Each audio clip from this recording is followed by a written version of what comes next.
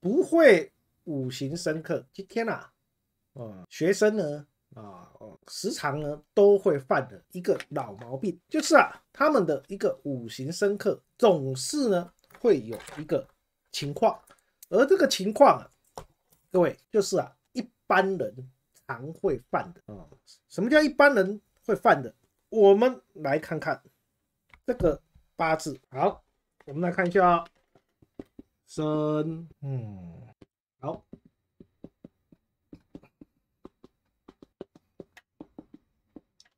好，请呢在座的各位把白板上的这一个八字五行生克写出来，把白板上面的这一个八字五行生克写出来。我来看看你们有没有呢？犯了同样的问题，就是不会五行生克啊。L I 你好哦，来白板上的这个八字，你们的五行生克，赶快勇于打出来。你们认为这个五行生克是要怎么五行生克啊？寅、子、卯、酉、大运、午。流年生啊，那这样子要怎么五行生克？你看子午卯酉还聚钱呢，哇！来，赶快我看看你们会不会五行生克？这个五行生克是什么情况啊？生有金，生子，生寅卯木哦，啊，还有一个午火跑去哪里了？好，那再来嘞，再来嘞，还有没有其他的答案？第一个答案啊。好，有人已经讲出第一个答案了。那再来呢？各位，你们认为呢？这个八字寅子卯酉大运无流年生啊，这个五行流通要怎么流通呢？嗯哦，各位，那五行派就看五行流通啊，这个没有合啊，就只有单纯的五行生克。那要怎样的五行生克？请作答哦。今天啊。这个学生啊，就被我念这一个，这学生就被我念这一个，为什么呢？啊，各位，为什么呢？哦，看看你们的答案，你们的答案是什么？啊，各位，答案还有，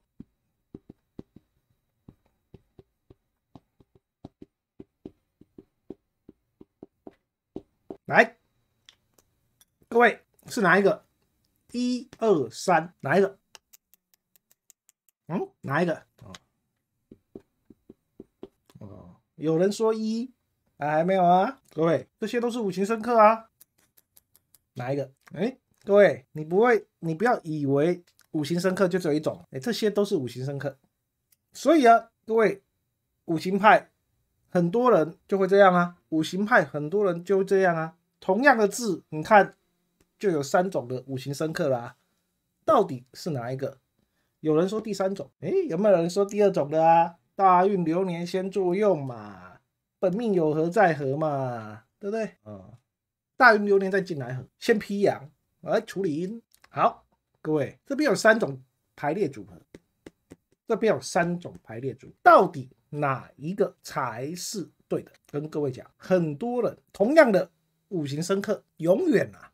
都只有看到克，没有看到生，所以呢，这个都不对。但是呢，你们很容易就会批这样，哇，火克金啊，水生木生火克金啊，不是很顺吗？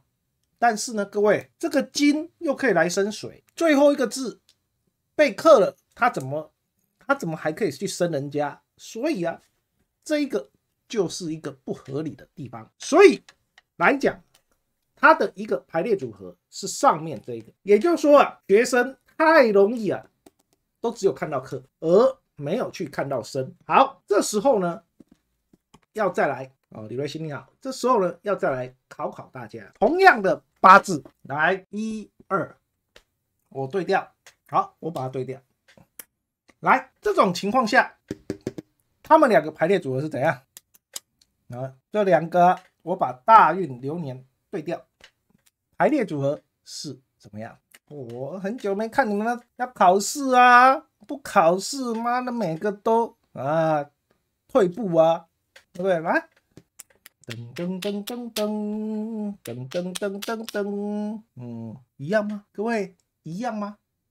当老师啊，会这样子问的时候啊，里面一定有诈，里面一定有诈，所以呢，要好好的思索哦，不要被老师牵着鼻子走。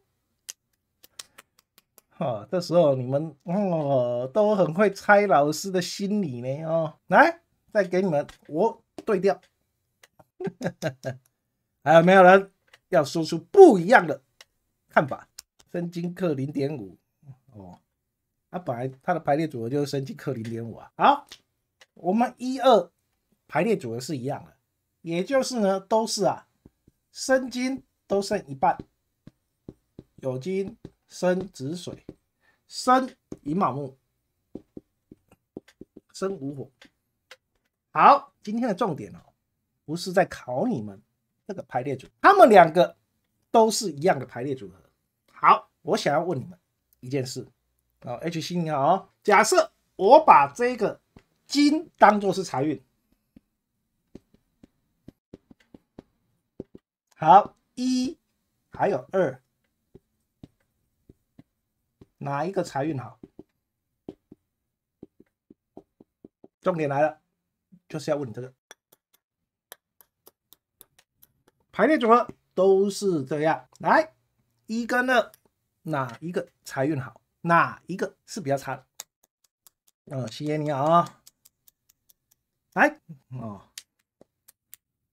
噔噔噔噔噔，一是好还是坏啊？哪一个财运好？嗯，一好好好，为什么一会好好好？嗯嗯，哪一个好？哪一个坏？你不要看到啊，就对调而已啊，啊，排列组合还一模一样。哎，对啊，这两个这两个排列组合一模一样哦，哪一个好，哪个不好？哎，看起来都一样，实际上还是不一样。为什么？我们要先知道，第一个八字大运是在，所以啊，它的一个大运的排列组有金生子水，生寅卯木，生午火。好，所以它本来财星是一个，那我们刚刚知道它多了零点五的生金，哎，它本来一个，现在这样，我们来看这一边，生有金，生子水，生寅卯木，也就是说这边一一，可是到最后它剩下零点五个生金，再配合一个有金，OK 了，你好，所以各位。这两个原本它只剩下零点五跟一个有金，那这边原本只有一个有金，还多了半个生金，所以你就要知道上面这一个假设金是财运，它是会变比较好的，但是假如是下面这一个，它是变得比较差的。好，所以啊，各位要清楚的知道，不要呢眼睛只是呢看着克有生啊，你要生啊。你要不要解？有生你要生。然而呢，在这里面呢，假如啊，我们要先知道这两个啊，火克金，所以这个金啊受伤，但是因为有救，还有一半。但是你们要特别注意哦，月儿想想你好，假如在流月来讲的话，真正会大破财的，来各位，在流月的角度会大破财的是第一个还是第二个？啊，各位在流月的角度。会大破财的是哪一个？各位是第一个哦，不是第二个哦。第二个不，反而它虽然破，可是它是有机会会回来的。但是在第一个，是它本来就只有这样子而已，它最高只有这样，而且很有可能还会再更烂。也就是说，好像多了一点点，但是它最多就这样，而且还只有更烂的相。那这边是最低。它就是这样，它还会再回来哦。各位在这里面，它就有不一样的现象哦。老凯哥你好，它就有不一样的现象哦。哦，各位，所以啊，在五行派里面，这些东西啊，你都要去清楚。所以各位你就知道，假如我不这样子一步一步的跟你们讲，你们全部一锅粥乱成一团。但是老师厉害的地方就是呢。只要透过老师大声一点，他妈的不会的全部都变会了。呃，嗯，为什么？嗯，因为只要被骂，嚯，神经紧绷，哎呀，时商就突然变聪明了，你知道吗？什么都会了。各位，这就是啊，在拼命里面你会赢人家的地方，你要不要解？这就是细微项，它的最高就是这样，而且还只会往下，它的最低就是这样，它还会回复啊。各位，表面这个是会好一点，这个会差一点。但是它的好一点就是这样，还会更烂。这个虽然看起来差一点，实际上它会回复。啊，各位啊，各位这一点啊，为什么会跟你们讲这些？不要只是傻傻的五行深刻，哎，看起来五行流通都一样，但是呢，它里面还是有不一样的现象啊。各位要去清楚的知道这一个，当然。你学完了五行派，老师这样子跟你们提醒，你们当然知道原因。但是呢，各位总是有 copy 版的嘛，有山寨版的五行派嘛。这样子一讲的话，呢，有听没有懂？这就是老师跟学生的暗号，了不了解？嗯，所以啊，你懂不懂五行深刻？各位，五行深刻都一样啊。那要怎么去解释它的内涵？好，各位，这就是啊老师引你们的地方哦。所以呢，批出来啊，对不对？要不要解？批出来不一样，就是不一样。为什么老师比较厉害？因为刁钻嘛，就是第二个要跟你们讲。